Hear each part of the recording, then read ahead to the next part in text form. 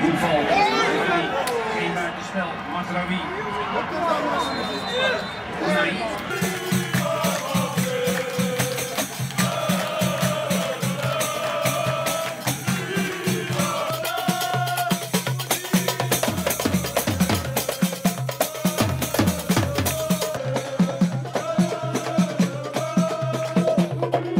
Komt het nog goed?